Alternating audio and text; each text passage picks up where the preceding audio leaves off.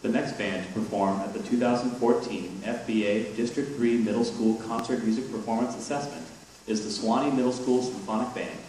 The director is Ken Michael. The principal is Mr. Jay Joliker. The band is entered in Class MC.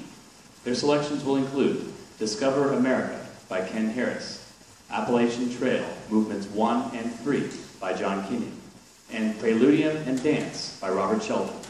Ladies and gentlemen, please welcome Ken Michael and the Suwannee Middle School Symphonic Band.